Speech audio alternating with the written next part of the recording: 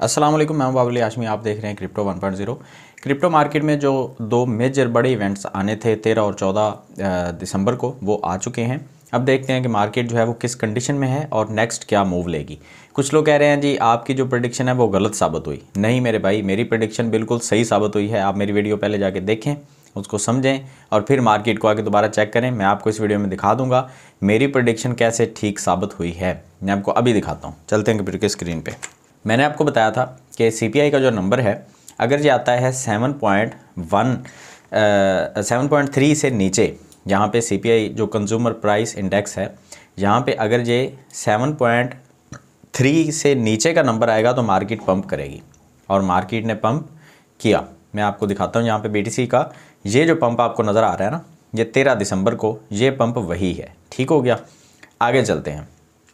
मैंने आपको बताया था अगर FOMC का जो फेड इंटरेस्ट रेट का डिसीज़न है अगर वो आता है 4.5 या इससे नीचे तो मार्केट पंप करेगी। अब ये हुआ था 14 दिसंबर को तो यहाँ पे बीटीसी को आप देख लें। ये 14 दिसंबर को यहाँ से लेके बीटीसी ने ये देखें पंप कितना किया है? ये देखें 3.9 और यकीन करें ये मेरी प्रडिक्शन के बिल्कुल आ, मतलब एग्जैक्ट मेरी प्रडिक्शन यही थी जो मार्केट ने बिहेव किया है। फोर परसेंट मार्केट ने पंप किया। अच्छा उसके बाद क्या हुआ? वो मैं आपको बता देता हूँ। यहाँ पे एक पेड ग्रुप है, बहुत पाकिस्तान का मशहूर पेड ग्रुप है। उन्होंने जो सिग्नल दिया था ना, वो अठारह का दिया था। मैंने वो सिग्नल नहीं दिया, मैं क्योंकि मार्केट की कंडीशन को बड़े अच्छे तरीके से समझ गया था कि मार्केट वॉलेटाइल होगी बड़े बुरे तरीके से। तो मैंने सिग्नल नहीं दिया। मैंने कहा था कि मार्केट पंप करेगी और वो कहाँ तक जाके वापस आएगी, ये कुछ नहीं पता। अच्छा उन्होंने अठारह हज़ार सात सौ का सिग्नल दिया था। मार्केट अठारह हज़ार तीन सौ अस्सी या नब्बे से आप कह सकते हैं कि वापस आ गई। अब वो लोग जो हैं, वो काफ़ी हद तक जो है, या तो लॉस में, या फिर नो प्रॉफिट नो लॉस की ट्रेड उनकी जो है, वो क्लोज़ हुई होगी।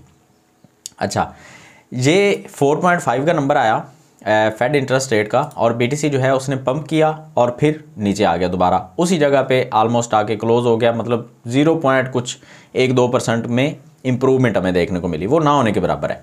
अच्छा ये ऐसा क्यों हुआ? समझें इस बात को। कंज्यूमर प्राइस इंडेक्स को अगर आप देखते हैं तो यहाँ पे जो नंबर है वो हमारे पास है 7.1 अभी भी ये नंबर बहुत बड़ा है। ये नंबर अभी भी नीचे आने की ज़रूरत है मज़ीद। पहले से ये नीचे ज़रूर आया है लेकिन फिर भी 7.1 परसेंट भी जो आ, है नंबर ये काफ़ी बड़ा नंबर है। अभी ये दो तीन चार परसेंट पर अगर होता तो मार्केट में कंडीशन और ज़्यादा बेहतर हो सकती थी। अब यहाँ पे पहले जो नंबर चल रहा था फेड इंटरेस्ट रेट जो डॉलर का इंटरेस्ट रेट होता है, वो था फोर डॉलर फोर परसेंट ठीक है? लेकिन अभी ये हो गया है फोर पॉइंट फाइव परसेंट ये बिल्कुल मानने वाली चीज़ है कि इसके बारे में सोचा जा रहा था कि फोर पॉइंट फाइव परसेंट ही होगा, और अगर ऐसा जो सोचा जा रहा होता है, वैसा ही अगर हो जाए तो मार्केट पंप करती है। लेकिन हुआ तो ये एक इंटरेस्ट रेट मज़ीद बढ़ गया।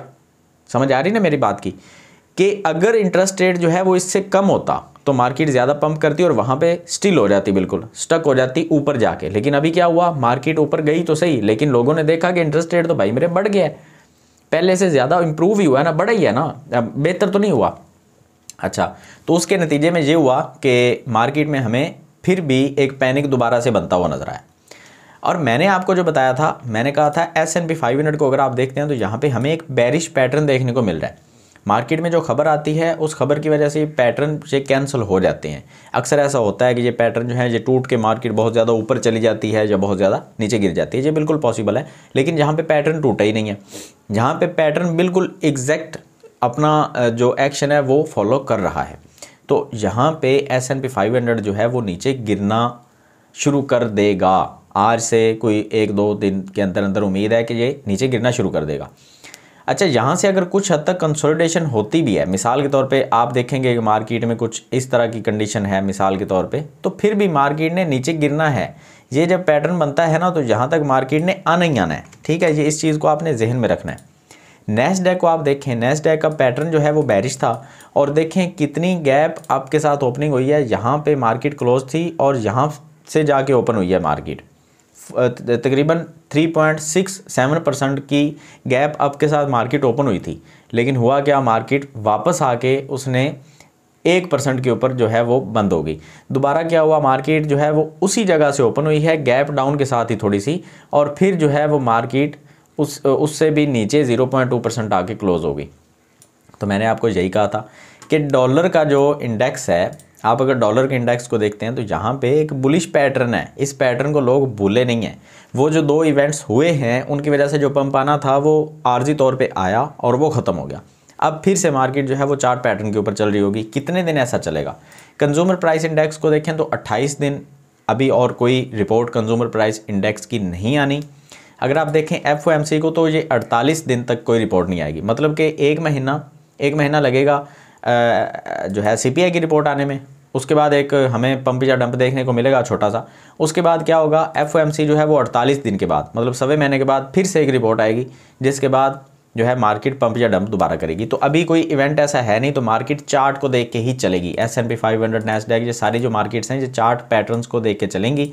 और मैंने यहाँ पे ये बताया था कि जो डॉलर का चार्ट है, ये बुलिश पैटर्न है। यहाँ पे क्या होगा डॉलर जो है वो ऊपर जाएगा, नीचे आएगा और ब्रेक ऊपर की तरफ़ करेगा। ये मैंने यहाँ पे कुछ ऐसा आपको बताया हुआ है। इसको हम ऐसे ही रहने देते हैं, ठीक है? अब चलते हैं हम अपनी क्रिप्टो की साइड। क्रिप्टो में अगर आप देखते हैं तो ये जो दो आपको कैंडल्स ग्रीन नज़र आ रही हैं, बस ये पंप आना था, ये पंप आ गया। अब दोबारा क्या होगा? पैटर्न फॉलो होंगे, ठीक है? ये पैटर्न बीटीसी का जो है, ये फॉलो होगा। अगर एस एन पी फाइव नीचे गिरता है डैग नीचे गिरता है तो हमें सी भी नीचे गिरता हुआ नज़र आएगा। तो अभी मैं आपको ये कह रहा हूँ कि स्पॉट के अंदर आप बिल्कुल भी अभी बाइंग मेरे कहने के ऊपर आप मत कीजिए। मैं अगर आपको कहूँ कि ये बाइंग कर लें तो ना कीजिए भाई।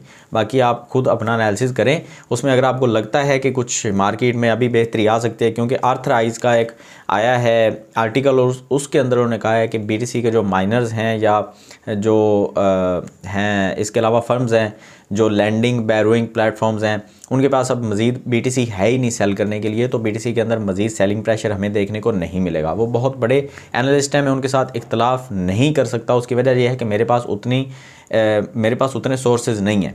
मार्केट के। लेकिन मैं ये ज़रूर कह सकता हूँ कि जो चार्ट पैटर्न है ना, इनकी वजह से मार्केट में थोड़ी बहुत गिरावट हमें देखने को मिल सकती है, ये पॉसिबल है बिल्कुल। और चार्ट पैटर्न को देख के कोई भी बंदा ये आपको बता सकता है कि बीटीसी का जो पैटर्न है, क्योंकि ऑलरेडी ये हमें छः दफ़ा ऐसा पैटर्न देखने को मिला है। ये आप देख सकते हैं छः दफ़ा छः दफ़ा मैंने आपको पहले बताया है कि ये पैटर्न पहले बन चुके हैं और इस पैटर्न के बाद मार्केट हमेशा नीचे गिरती है। अब दोबारा नीचे कितना गिरेगी, ये कोई अच्छे तरीके से प्रडिक्शन तो नहीं दे सकता, लेकिन ये कहा जा सकता है कि बीटीसी जो है वो कम से कम चौदह हज़ार, तेरह हज़ार के अराउंड गिर के दोबारा से ऊपर उठने की कोशिश करेगा और वो एक बॉटम होगा मेरे हिसाब से। मैं फिर से कह रहा हूँ, ये मेरा एनालिसिस है, ये गलत भी हो सकता है, सही भी हो सकता है। मैं जो अपनी इन्वेस्टमेंट करूँगा, मैं चौदह हज़ार आठ सौ से ले बारह हज़ार आठ सौ के दरमियान में करूँगा, ठीक है?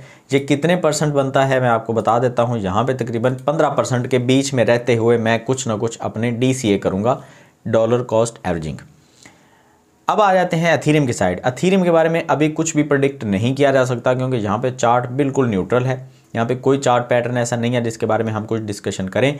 अगर बिटकॉइन गिरा तो अथीरियम भी गिरेगा बिटकॉइन पंप करेगा तो अथीरियम भी पंप करेगा। ये बिटकॉइन के साथ ही लिंक होकर चलेगा, क्योंकि इसका कोई अलग चार्ट पैटर्न अभी हमें देखने को नहीं मिल रहा। मूविंग एवरेज की बात अभी हम इस वीडियो में नहीं करेंगे, क्योंकि हम सिर्फ़ चार्ट पैटर्न की बात कर रहे हैं। यहाँ पे बारह सौ नब्बे के ऊपर अथीरियम जो है वो ट्रेड हो रहा है इस वक्त, और उम्मीद कर रहा हूँ कि यहाँ पे एक छोटी सी स्पोर्ट लेके अथीरियम थोड़ा बहुत ऊपर जाएगा। और उसके बाद फिर से ये BTC को देखते हुए ये एक्शन लेगा। सुलाना को अगर हम देखते हैं, सुलाना के अंदर हमें एक बुलिश पैटर्न देखने को मिल रहा है यहाँ पे ये पैटर्न जो है, ये इस तरह से ब्रेकआउट होता है और यहाँ पे सोलाना के अंदर हमें थोड़ा बहुत कुछ पंप देखने को मिल सकता है। अगर आप यहाँ पे ट्वेंटी परसेंट की प्रॉफिट लेना चाहते हैं सोलाना के अंदर तो आप इस जो है ब्रेकआउट का वेट करें। अगर ये ब्रेकआउट ऊपर की तरफ़ हो जाता है और रीटेस्ट भी हो जाती है, जैसे कि मैंने आपको बताया, यहाँ पे ऊपर जाके नीचे आ जाए, ये रीटेस्ट हो जाए और फिर से यहाँ पे जाता है अगर तो आप तकरीबन 15 परसेंट के लिए 20 परसेंट के लिए यहाँ पे खेल सकते हैं। थोड़ा सा रिस्क ज़रूर होगा, क्योंकि सोलाना के स्पोर्टर्स अब मार्केट में नहीं है। जो एफटीएक्स है, सोलाना का बहुत बड़ा जो स्पोर्टर था, वो अब मार्केट में नहीं है। डॉज कोइन को देखें तो डॉज कोइन के बारे में मुझसे बहुत सारे भाई पूछ रहे थे कि भाई डॉज कोइन का नेक्स्ट क्या सीन होगा? तो डॉज को मैं अगर पकड़ूँगा तो मैं आपको यहाँ पे एक हॉरिजेंटल लाइन लगा के दिखा देता हूँ कि 0.5 0.059 से पहले मैं डॉज कोइन को बिल्कुल हाथ भी नहीं लगाने वाला। उसकी वजह यह है कि डॉज में एक पंप आया है और ये आर्टिफिशियल पंप है। ये टेम्परेरी पंप है। इसको हम आ, मतलब पहले भी देख चुके हैं एलॉन मस्क की वजह से जो पंप आते हैं वो उसी तरह से गिर भी जाते हैं। अभी आप देखते हैं कि पंप जो है वो यहाँ से शुरू हुआ था तो दोबारा से मार्केट जो है वो यहाँ पे गिरने के चांसेस जो हैं वो बिल्कुल हैं। 0.059 तक अगर ये वापस गिरता है तो मैं वहाँ पे एंट्री लूँगा अदरवाइज़ मैं यहाँ पे डॉज के अंदर एंट्री नहीं लेने वाला। उम्मीद करता हूँ कि ये जो मार्केट की अपडेट थी आपको इससे नेक्स्ट मूव का कुछ ना कुछ आइडियाज़ लाजमी हो गया होगा। कमेंट सेक्शन में अपनी राय का इजहार ज़रूर करें। टेलीग्राम के ऊपर सिग्नल तब देना शुरू करूँगा जब बिटकॉइन 12,800 से लेकर 14,800 के दरमियान में चल रहा होगा तब हर कॉइन के सिग्नल आपको देखने को मिलेंगे।